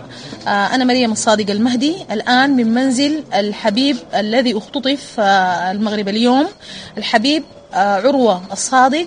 وبتحدثنا بتفاصيل الاختطاف زوجته الحبيبة تبيان الأنصاري. السلام عليكم. آه عروة تلقى تلفون آه ما معروف آه من منه. طلع آه خارج البيت في شارع البيت ذاته لاقوه مجموعة آه ملثمين راكبين آه عربية آه بيضة صغيرة كوريلا أظن آه أكسنت آه رقم 55 6 8 آه حاولوا إنه آه يلحقوه آه فلما ما حصلوا ضربوه بالعربية في رجله عطلوه وبعدين رفعوه في العربية واختطفوه. كانوا بيضربوا فيه. كانوا بيضربوا فيه داخل العربية. العربية فيها في المقعد الأمامي في في سيدة موجودة. في سيدة موجودة أيوة كانت تلبس نظارات سوداء عشان ما تسهر وهو وهم كانوا ملثمين ما ظاهرين فضربوه في ساقه ويتعوق في ساقه وهسي الوضع الصحي أن إحنا في شدة القلق عليه. ده الكلام ده كله جابوه شهود عيان كانوا في الشارع آه لما سكوهم يعني وحاولوا يلحقوهم قعدوا يقولوا حرامي حرامي وأسرعوا آه يعني بالفرار.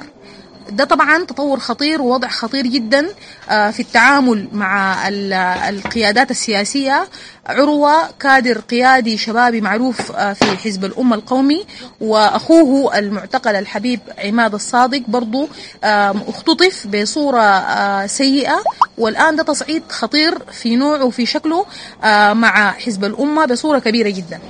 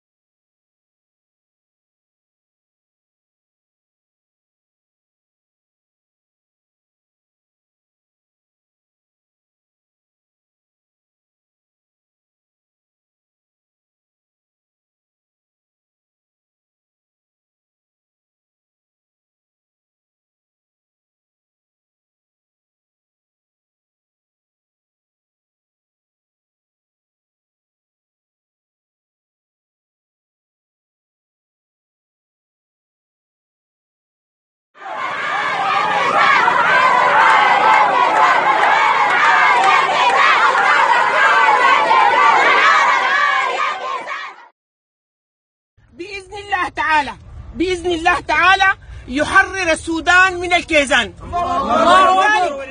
بطلب من أهلنا في جبال النوبة. ما نضيق القضية حقتنا القضية حقت كل أهل السودان. الله اي أي زول يموت مات أول امبارح ولدنا في جامعة كردفان. أبو بكر الصديق. والليلة ولدنا ولدنا محمد الصادق. بكرة تموت سارة بعد بكرة محمد ضياء بعد الدقير لكن في الآخر السودان بيتحرر. وعشان كده ما نرجع بيوتنا تاني. ما فيش رجعة للبيوت. لازم نحرر البلد.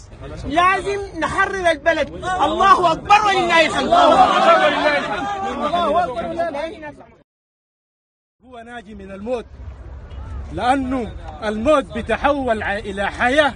مترعة بالعنفوان. لما يكون دفاعا عن قيم الحرية والعدالة والعيش الكريم. أنا أدعو أن يتح أن يتحول مقتل طالب مقتل أمة. مقتل طالب مقتل أمة. نسمع نسمع. أن يتحول الحزن على محمد صادق وغيره من شهدائنا لازم يتحول إلى عصيان. عصيان يدك عروش الظلم والطغيان والاستبداد وإنها لثورة حتى النصر. شكرا جزيلا. الناس طيب طيب بنشكر الناس مجددا بنشكر الناس مجددا ثورة ثورة حتى النصر وحده وحده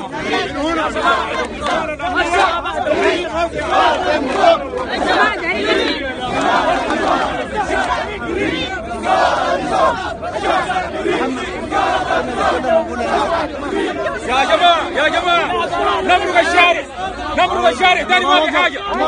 نطلع الشارع يا جماعة ما دارين كلام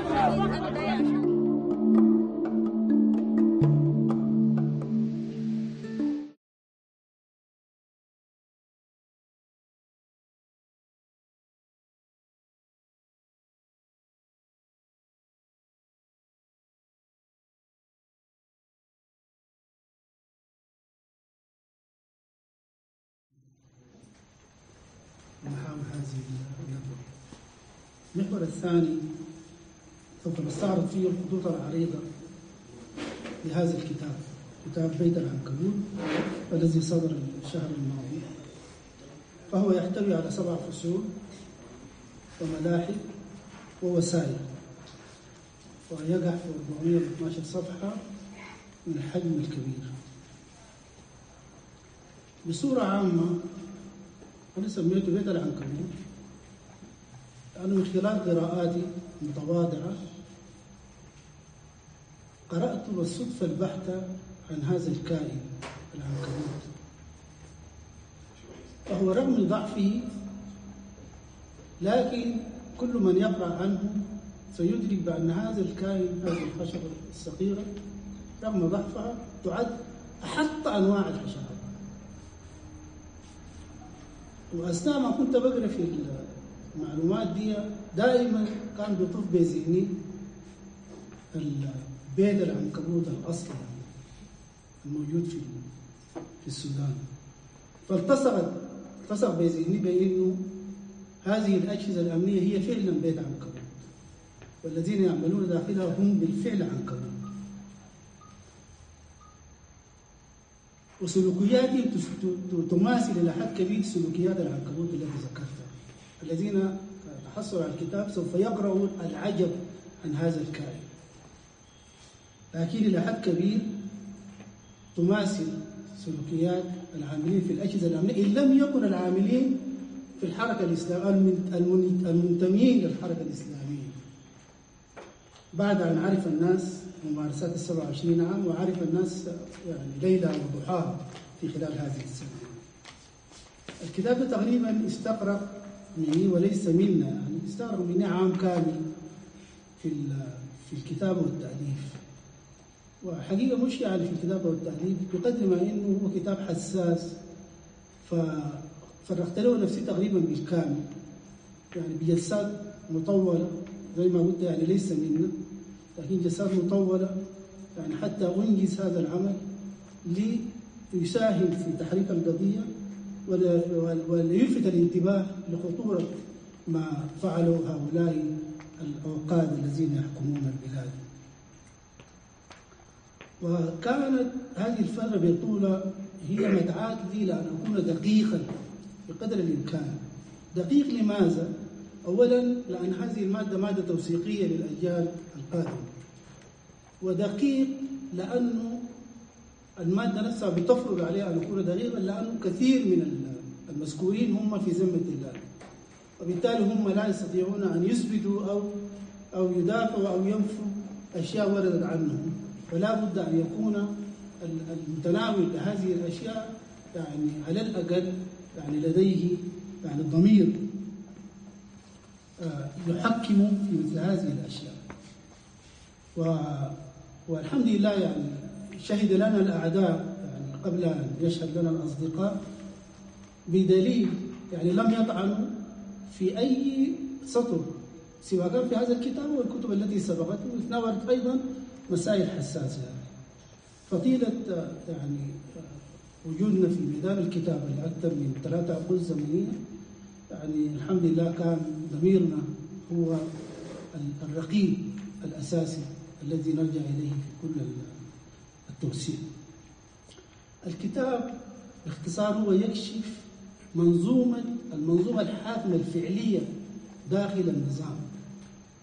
النظام فيه أجهزة معروفة آه، مجلس وزراء ومش عارف آه، مجلس وطني و, و...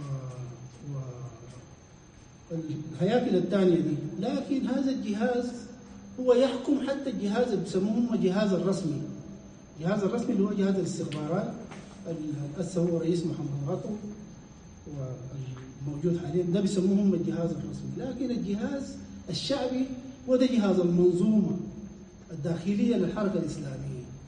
وهذا الجهاز يعني قراراته تنزل من علم ويجب إنها تنفذ من غير يعني هو بيأمر الرئيس هو بيضع الاستراتيجيات تحت البلد القضايا الكبيرة. هو الذي يقيم هو الذي يحدد هو الذي يحدد السياسة الخارجية هو اللي يقول حاربوا منه أقطعوا العلاقة مع منه وأسجنوا منه وأقتلوا منه. هذا هو الجهاز. وهذا الجهاز في الكتاب يعني الكتاب وفقا للمصدر تعرض للهيكل التنظيمي بتاعه. من هو مدير مدير الجهاز؟ طبعا هو ما يعني غير معروف بالنسبة للناس. مدير الجهاز منه العاملين في الإدارات عندهم تقريبا زي 13 إدارة مختلفة. هذه الإدارات جبنا أسماء المدراء بتاعينها وانها هي موجودة وين؟ في الخرطوم. في بوغران في ما بعرف شارع الستين ما عارف شنو. الأماكن الجغرافية. ليه؟ لأنه الناس بيجوا ماشيين فيها ساكت ما عارفين ما الذي يجري. ثم ثاني هؤلاء المدراء ما قاعدين في مكاتب عشان عشان يشتغلوا شغل دواويني ديواني وظيفي يعني. هم بيكونوا شغالين في أماكن ثانية الشغال مدرس الشغال في صرافة الشغال في كده. لكن هو كل المدير الفعلي بتاع الدائرة المعينة. بعد ما يخلص شغله هناك بيمشي يكون عنده شغل أو يعني بيدير أعماله من من أي مكان. و وهو الحقيقة يعني هم منزعجين. يعني الكتاب ده أنا ما جيته هو جاني. ودي ما الزيارة الأولى بالنسبة لي. يعني كان الزيارة القبلية هو كتاب الخندق. وكتاب الخندق هو كشف ما يجري في الجهاز الرسمي. اللي هو جهاز كان وقتها هو آه، مدير هو صلاح بوشي والمعلومات ما قدروا يكذبوا فيه حاجة لأنه المعلومات اللي فيه مش طالعة من الجهاز طالعة من داخل مكتب جوش.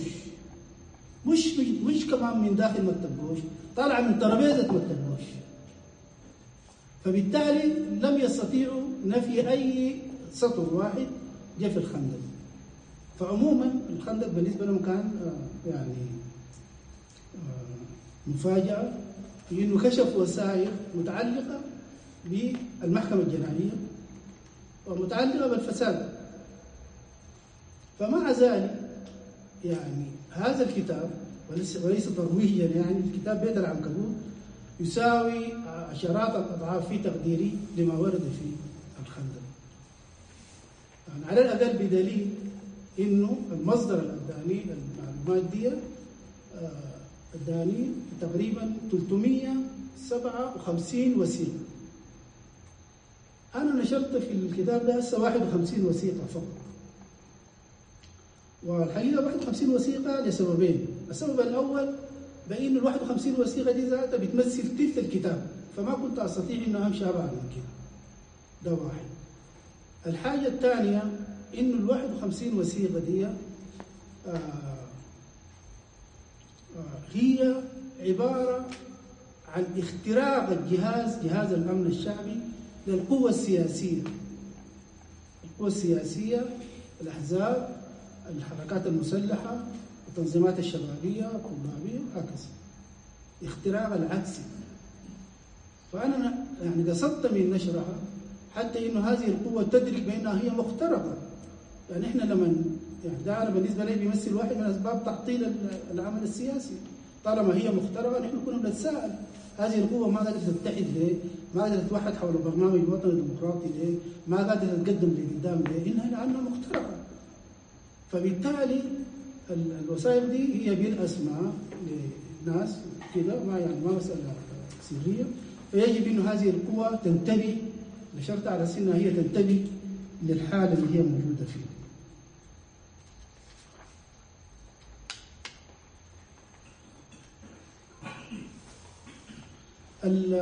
في تقديري الكتاب وثق لأسوأ أسوأ أفعال العصبة الحاكمة وليس هناك أسوأ من جرائم القتل. في هذا الكتاب كشفنا عن جرائم تمت قام بها أفراد من جهاز الأمن الشعبي وقتلوا أبناء طلاب بالذات الطلاب في جامعة الخرطوم. وحصلنا طبعا عن المعلومات الكاملة كيف قتلوا ومن الذين قتلهم وصور وصور الذين قتلهم أيضا موجودة في الكتاب وأين هم الآن. وذلك حتى يعني ندي الإحساس بأنهم هم ما في مأمن. يعني ما يشعروا بأنهم هم في مأمن طالما عملوا يعني أفعال فظيعة زي دي يجب إنه الناس توريهم بأنهم هم تحت النظر. فده كان القصد من من من كشف هذه الأشياء. وفي أشياء طبعا ثاني يعني جرائم ثانية في الكتاب. حاولت بقدر الإمكان أوثق لكل الجرائم جرائم الدم. أنا دائما يا جماعة بقول جرائم الدم لأنه رغم الانظمه اللي مرت على السودان لكن يعني هذا النظام أنت لما تشوف ما حدث في حرب الجنوب أكثر من مليون مليوني شخص وفيما يجري في دارفور الضحايا وفي أماكن أخرى سواء كان في الجبهة الشرقية سواء كان في في الخرطوم سواء كان في الشمال في الشرق. وصلت لقناعه ممكن تصلوا لها أنتم برضه بإنه هذا النظام أكثر أكثر نظام في المنطقة. ليس النظام السوري ولا ولا العراق ولا اليمن ولا افغانستان هذه هذا النظام ارتكب أسوأ جرائم دم في المنطقة فبالتالي الناس يجب أن لا تنسى هذه الحقيقة يعني رغم إنه في أنظمة مرت لكن لم لم تتوكل في جرائم الدم مثل ما حدث في في, في هذا العهد. بالطبع يعني طالما إنه في جرائم دم اذا هنالك قتل. أنا حاولت بقدر الامكان أوثق بهذه الجرائم أوثق لها وحاولت أحصرها لكن هي حقيقة ما بدعي إنه أنا حصرت له هم دي كل الجرائم. حاولت بقدر الإمكان يعني من ابتداء من آه من آه مقتل علي فضل. أول جريمة تمت في العهد البغيض ده. والجرائم الأخيرة برغم التصاقي شخصيا بهذه القضية لين لكن زهدت في إنه في جرائم ذاتي لأول مرة أعرفها. لأول مرة أعرف جرائم دم موجودة في الكتاب. وبعدين زي ما قلت لأنه بتحرى التوثيق الأمين والصادق. يعني بذلت جهد كبير جدا في إنه أصل لأهالي الضحايا سواء كان اهاليهم سواء كان أصدقائهم سواء كان الذين شهدوا. يعني هذه الأشياء. هذه الجرائم. أي أي يعني كل مس عملت بالمثل السوداني اللي بيقول سيد الرايحه يفتش ختم البقرة. وين ما أنا قالوا لي في حاجة يعني باتصالات تلفونية بإيميلات بواتساب بفيسبوك بكل ما يعني وسيلة متاحة باتصالات فردية بكل شيء متاح حاولت بقدر الإمكان إنه أصل. لكن المهمة بتاعتي كانت بتكون صعبة جدا لما أصل ل ل ل لأهل ضحية أمه ولا أبوه ولا كده ويكون هو قتل قبل 10 15 سنة. فلما أنا بعد مقدمات طويلة جدا أقوم أقول الموضوع بتاعي بحس كأنه هم يعني نزلت فيهم صعبة رغم مرور السنين رغم مرور السنين بحس بأنه كأنه نزلت فيهم صعبة يعني مما يدل بأنه فعلا الفقد ده ما سهل يا جماعة. يعني ما بالسهولة إنه الناس تفقد خاصة لو كان أم ولا أبو يفقد يعني عزيز لهم وبالسهولة كده الناس ينسوا الحكاية. ف فإذا في الكتاب طالما هنالك ضحايا إذا هنالك قتلة ويجب إنه يشار لهم بالبنان. فبرضه باجتهاد خاص عملت فصل عن سميته من هو القاتل أو من القاتل. طبعا القاتل يعني ما مش يعني كلام زي الناس كنا كنا نكتبه يعني في المقالات باعتبار إنه النظام قاتل لا المرة دي مينو في النظام القتل يعني ب evidence مينو القتل يعني ابتداء بالتراتيبية ابتداء من الرئيس إذا جاز تسميته بالرئيس. وإنت نازل لعلي عثمان طه لبكري دجال أسامة عبد الله. كل زول بأنه عمل شنو؟ يعني قصدت من ده إنه ال ال ال ال يعني الأيادي تكون موجهة للقاتل. وإنه يكون بمثابة صحيفة اتهام زي ما بيقولوا القانونيين. يعني تعين آخرين يمكن أن يكملوا المشوار يعني تصويبا أو زيادة أو أو يعني حذفا أو غيره.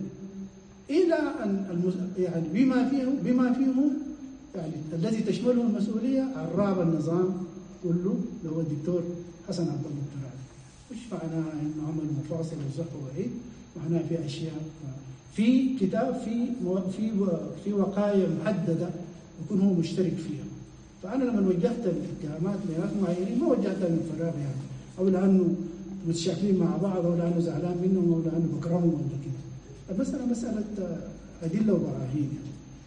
يعني فده موجود في الكتاب. وبعدين يعني سألت يعني غير توثيقي أنا مثلا بعد بعد حوادث حوادث سبتمبر 2013 اللي هي أكثر من 200 شاب وشابة. ويجي زول زي علي عثمان طه في اليوتيوب بس أنتم بتشوفوه بيتكلم في المجلس الوطني بيقول بالنص التعليمات للأجهزة الأمنية شوت. تو كيل